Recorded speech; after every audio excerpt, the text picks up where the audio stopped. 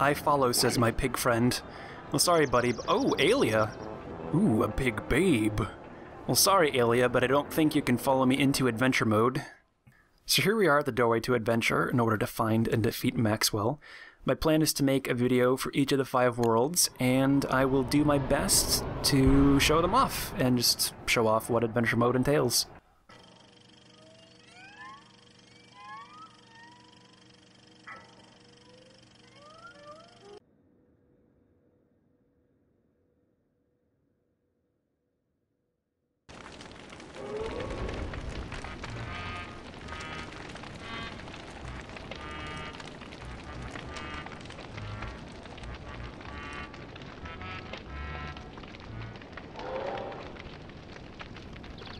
Alright, don't panic. You're just in a world where it's eternally winter, but that's fine. Let's just rummage through this dead guy's stuff. And we know how to make an ice staff now. That's great. As if it needed to be any colder. Rabbit earmuffs blueprint. I guess that'll help. I guess it would be too easy just to give me some winter clothes, huh? Looks like we have some living logs and a heat stone, so the heat stone will help. Living logs, not so much. As the intro screen mentioned, there are five different worlds that you have to get through in adventure mode, and I kind of I kind of talked about this in my previous video, but I'll, I'll just briefly rehash it here since this is going to be the beginning to it all you have to find and construct the different pieces of the wooden thing machine or the teleportato, whatever you want to call it, uh, five different times and just like hop to each of the new worlds. Let's just make a trap for good measure. Sorry if I'm distracted. I'm trying not to freeze to death and also explain what's going on. So, there we go. Let's put a carrot in there. Yeah, he wants it. He's coming. Right. So, the final two worlds are predetermined, but the first three uh, are randomly chosen from four possible ones, if that makes any sense. there, there are like six possible worlds altogether, but you'll only get to see like five of them in one playthrough. So, uh, hey, rabbit, do you like do you like meat? Your rabbits are carnivores, right? I guess not. They don't want it. That's fine. Beggars can't be choosers, you know, rabbits. I'm just saying. So, this King of Winter one was one that I was hoping I would not get since it's going to be eternally winter, essentially. But whatever, you know, you gotta gotta play the cards you're dealt, and I don't. I just need I just need a stick, and I'll be able to make some rabbit earmuffs. All right. Perfect. Got a couple dead rabbits covering the ears, and I think we're basically. I mean, I've got this down pat. Winter's got nothing on rabbit corpses tied together on a string.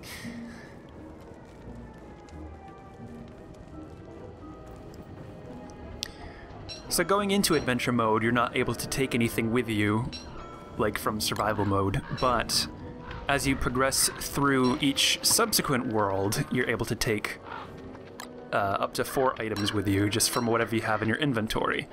So I had hoped if I did encounter this level that I'd be able to take like a beefalo hat with me or like a puffy vest, just anything to help not freeze to death. But it seems that it's gonna give me this one right off the bat. Unfortunately. The thing I have equipped now, and I probably should have mentioned this earlier, is uh, a divining rod, and it's it's getting angry. Wolfgang says, and it just essentially acts as a like a homing beacon, and it'll get louder and like kind of vibrate more often the closer you get to different pieces of the wooden thing machine. I uh, I don't know if it'll do. Oh, sounds like I'm. Oh, robot box. I'm sorry. I'm getting farther away. I don't know if it's gonna help me find the base of the wooden thing. Uh, I hope so. I guess there's only one way to find out, really. Oh, it's scaring me. The reason I chose Wolfgang for adventure mode is because he gets more uh, like health and uh, a bigger stomach and hits harder. So, oh. all right, back on track. And in the middle of this ring of evil flowers is our first piece.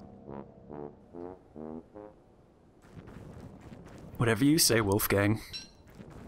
I will bend into perfect circle. So I saw a spider. I think I'm going to try and collect as much silk as I can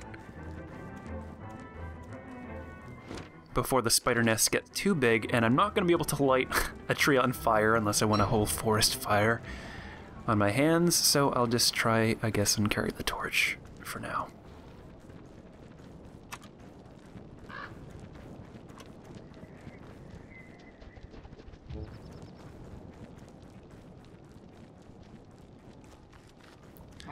All right. Time to get me a puffy vest. Only thing is, it doesn't really look like there's a cliffside I can trap him by. Maybe I can chase him into the fire. You look like you want to heat up, little buddy. Come on, right into the right into the fire. Just get. Nah, he's not not gonna fall for it.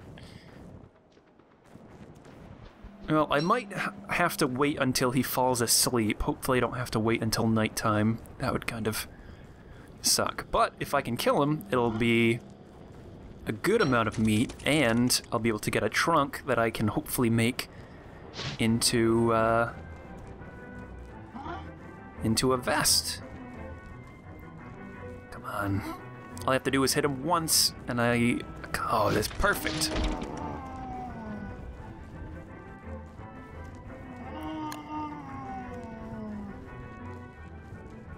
Just relax. Let's all just relax by the fire. Just get chased by... Oh, he pooped. Just get chased by a winter koalefant around the fire. What could be more relaxing and soothing than that? Than hacking into this majestic creature with an axe. I can't think of anything, to be honest. What a way to spend your winter. Uh, hmm. Gotta get rid of something. Let's just chuck that on the flame. Alright. So, lots of meat. That's good. I'm just gonna drop this. I don't I don't really need that. Okay. And now I guess I have to find gold to make an al uh, like a science machine so I could even make the damn vest. And maybe hopefully find some beefalo to make a hat. Ugh, it never ends.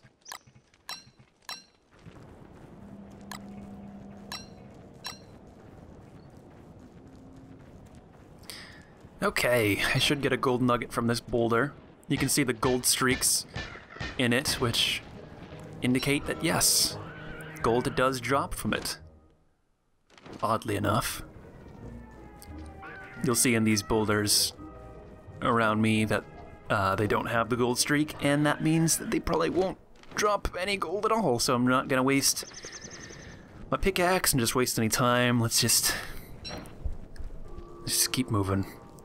And it seems like Robot Box has detected another piece nearby, so let's see if we can't make ourselves a puffy vest.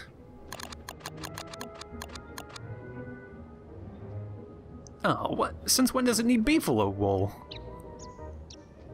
Oh, that sucks.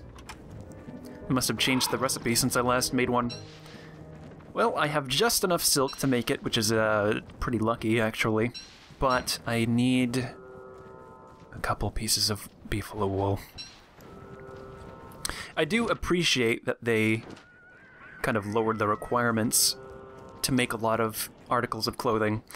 Like the puffy vest used to require 16 pieces of silk and just the koalefant trunk. But it's only eight now, and like the top hat only needs, um, I think like four, it said. And oh my god, I have hit the jackpot. The mother load. So I'll definitely have to set up camp there, make an alchemy engine, and where there's poop, there are beefalo. Okay.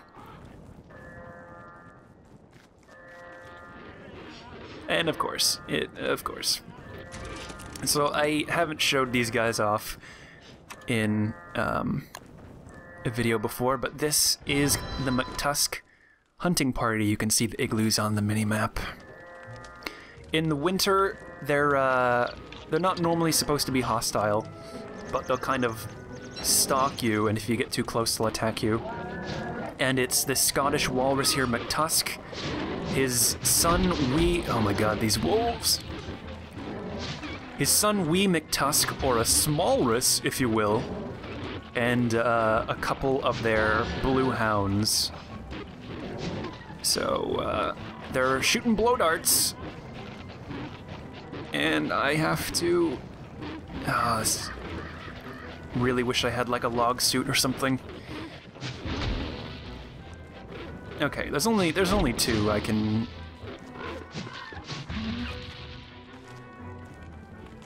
Oh, good, more dogs. Oh, I really hope they don't kill all the beefalo. That would. I mean, I guess I do only need two pieces for the vest, but I want to make a hat too. I also do not want to die.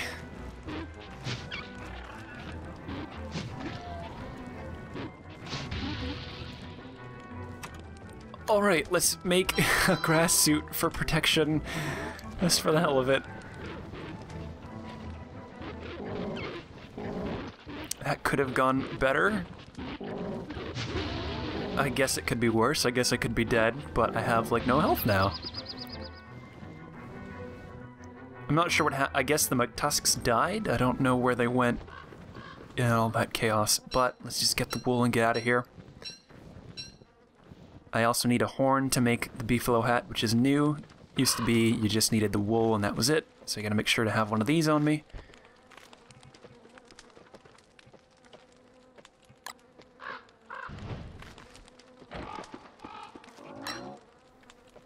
I don't really... I'm, uh, get rid of this stupid feather. I'm not planning on using the grass suit. I don't think. I sort of just made it in a panic.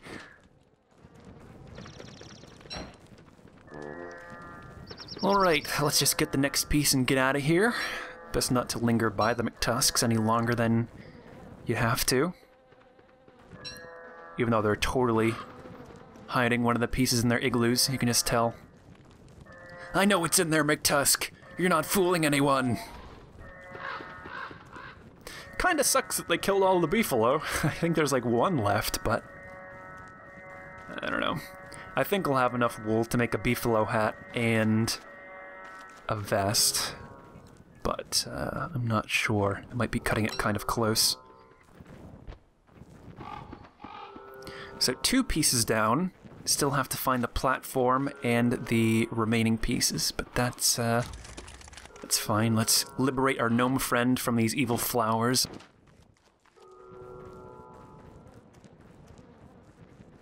As I was mentioning, uh, oh,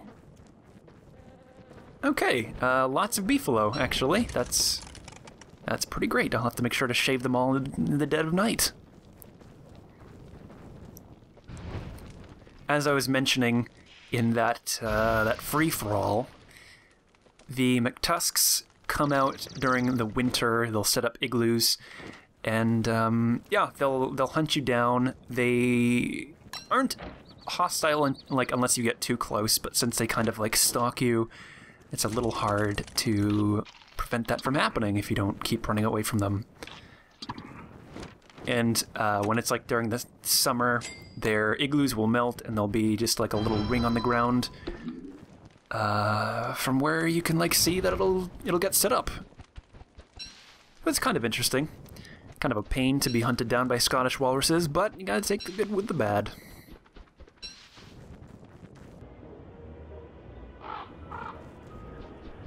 Okay, can I make the vest now? I just, I just want to be warm.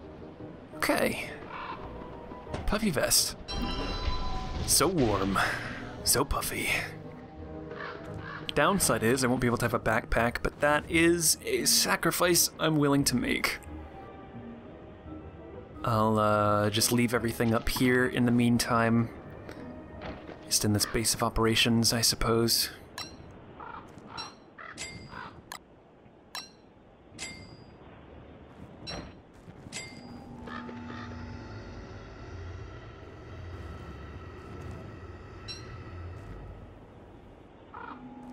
No, that was not me breathing heavily into the microphone. I'm sure everybody assumed I was a mouth breather, but no, that's uh, that's that's Deerclops. I made a video about Deerclops, and um, I think if I just avoid him, I'll be fine. I'm pretty sure he isn't hostile unless you attack him first, so just give him a wide berth. And is that? Uh, oh yeah, it's it's just uh, just the Smalrus. There's no no Papa MacTusk leading the hunting party. Junior's taking charge, leading the hounds on his own. He's finally becoming a man.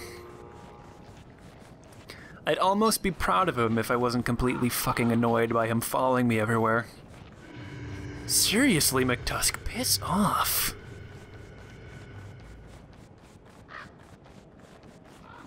What's nice about having all these winter clothes now is that I can kind of explore unabated, really. Except for, well, giant deer cyclops prowling about, but other than that, unabated.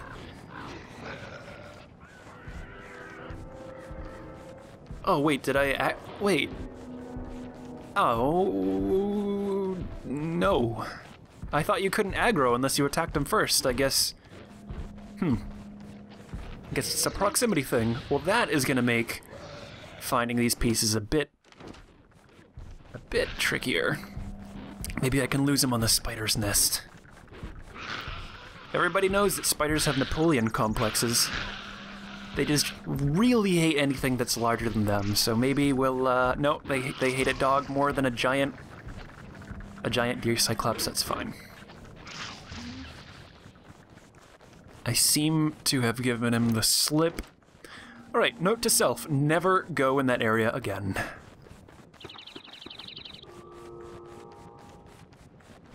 Alright, Robobox. Robobox, what is it? You found another piece? Uh, oh. this is new. Obelisk. Um, hmm. I wonder if I have to, like, mine it loose? I, I might have to look this up.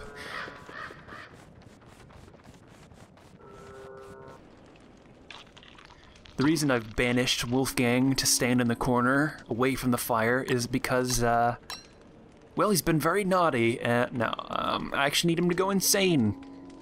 Turns out, um, once I hit insanity, the obelisks should lower, and I should be able to to keep on going. And I assume... I mean, I'm, I'm bound to find something there, at least. I, I kind of have the feeling that I'll find uh, the base of the wooden thing machine, but I'm at least one of the pieces. I guess since my vest gives me sanity back, I'll take it off. I know I, I did all this just to get the vest, but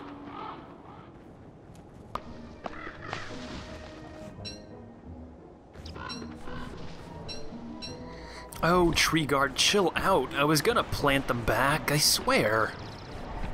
Well, whatever. Everybody, hold on to your britches. This is gonna be a really exciting fight.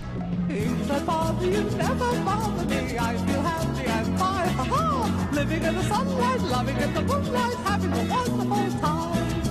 Having got a lot, I don't need a lot, coffee's only a dime. Living in the sunlight, loving in the moonlight,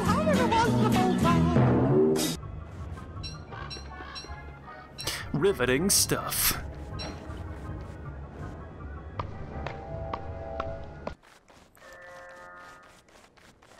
Robot Box is getting angry. It's screeching at him. It's scary. Stop it. You're frightening him. But we found another piece and hmm, a couple of farm plots. Which is sort of useless in a world where it's eternally winter, since nothing's gonna grow, but I don't know. I guess I can appreciate the gesture of goodwill.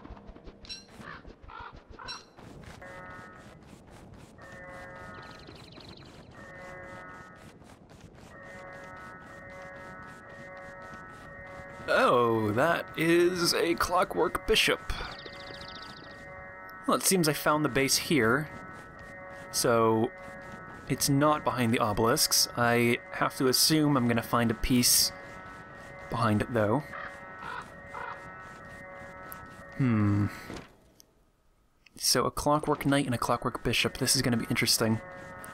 I'm going to have to make myself uh, some weapons. Got to make a log suit.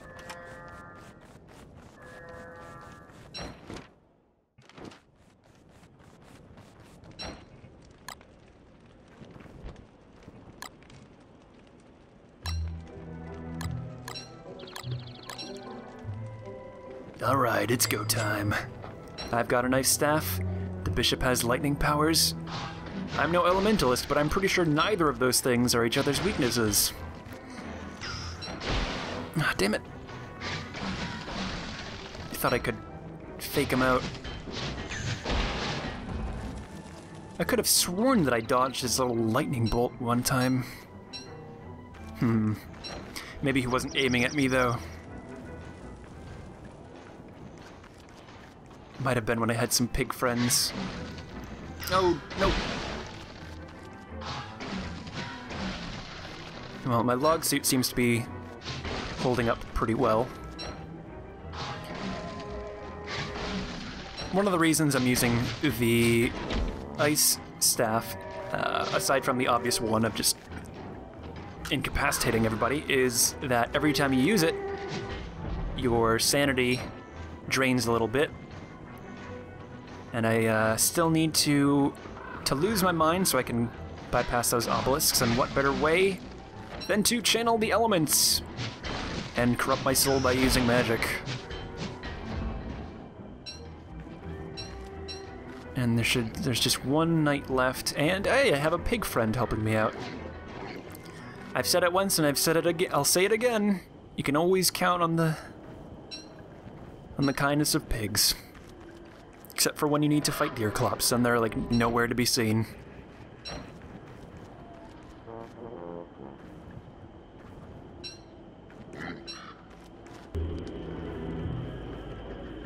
Oh, still an open...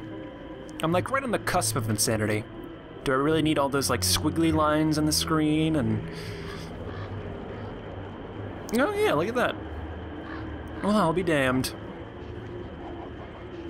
Oh, there's another row. That would suck if, like, somehow you got stuck in between them. I mean, I guess you could just wait for your sanity to go back down, but that's assuming you don't starve. Well, good news is we're on the right track and we're pretty close. Bad news is we're going insane and now rabbits resemble the stuff of nightmares.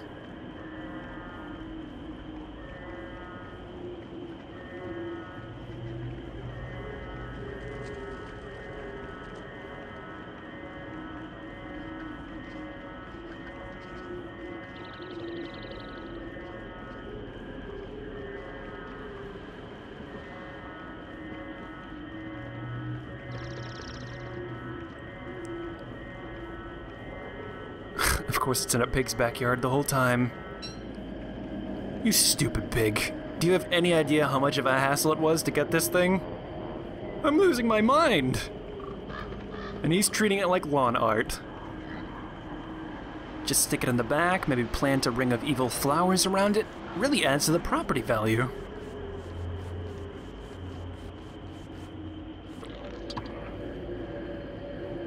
I actually wonder how these things pop up. Like, are they going to spring up just immediately, or do I have to leave the screen first? Kind of like a watched pot kind of thing. Oh my god, MacTusk, screw off! Well, sorry everybody, we're not going to get to watch it. No Fun MacTusk is here.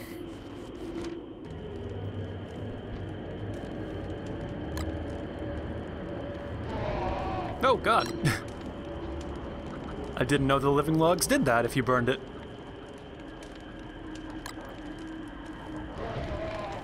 Oh my god, that's terrifying.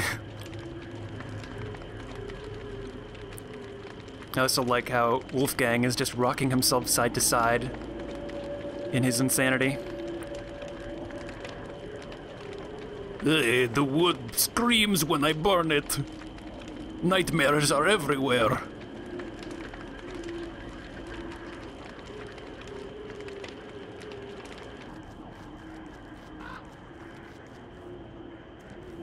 Let's plug. Oh no, can't can't use it yet. Apparently.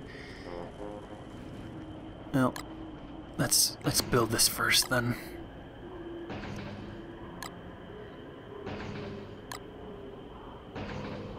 All right, it's beeping and booping. That means time to unlock. I wasn't really sure what to take with me into the next world. I think in the very later ones, I'll want to take basic supplies like grass and twigs, because that'll be kind of scarce. But I figured I'd take gold in case I needed to make like an alchemy engine or just any other kind of recipes that I didn't have yet. And I think winter's supposed to factor in pretty heavily towards to like one or two of the remaining worlds. So I'll take like some warm clothes and an ice staff since that that helped out with the clockwork bishops. And I'm sure I'm going to run into a bunch more. So let's journey onwards.